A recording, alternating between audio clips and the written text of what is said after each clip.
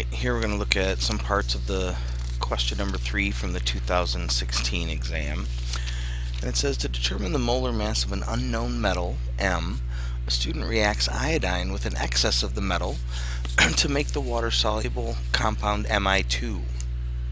And it's represented by the equation above. Sorry, I don't have that there. Hold on one sec. Ta-da, there's the equation. M plus I2 makes MI2. So this reaction proceeds until all of the iodine is consumed. The metal is in excess. The MI2 solution is quantitatively collected, heated to remove the water, and the product is dried and weighed to a constant mass. So here we see the experiment below. I've got an empty beaker on the scale. I add the metal to it, so when I subtract that, it would tell me how many grams of metal.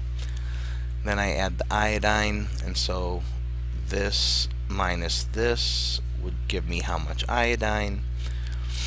I add water, the reaction happens, so I've got MI2 in the solution. I've got leftover M because it reacted until all of the iodine was gone. I collect the solution, which is just MI2. I heat it and reheat it, and I'm left with the MI2 solid, so I drove the water off. And here's the data in a table form. Alright, so given that the metal again is in excess, calculate the number of moles of I2 that reacted. Okay, so again, when we look up above, beaker plus metal, beaker plus metal plus I2. So if I subtract these two numbers, that should give me my grams of I2. 127.57 minus the 126.549 and then I just have to divide by the molar mass and I get a really small amount of moles of iodine. Now probably a potential sig fig question. I have four numbers in my grams of iodine and so the zeros in front don't count. 4023 does. So you could have answered like this, or you could have answered 4.023 times 10 to the negative 3 moles. Either way. Now they want us to calculate the molar mass of the metal, grams per mole. So I'm going to need my grams of metal, so that would be my 126.549 minus my 125.457.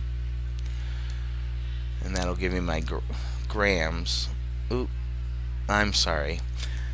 Because the metal was in excess, I cannot use those two numbers. See, common error.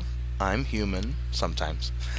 I can't use these two because from my pictures above, leftover metal, right? So I have to use this information. My 1.284 grams of MI2 minus my grams of iodine that are in there.